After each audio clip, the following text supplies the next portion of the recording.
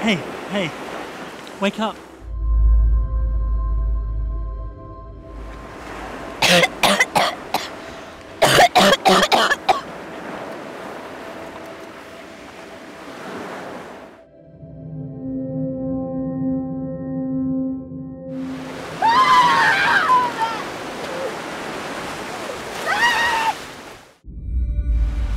Let's get some food.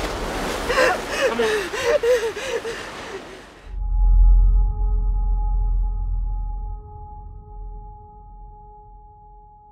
Just promise me, over there, do not go in that forest.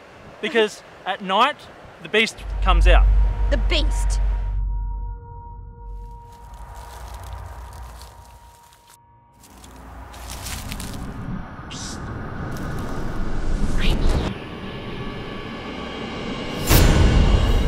I know the island, I know every part of the island. Right, okay. If Tom comes, we'll be there for him.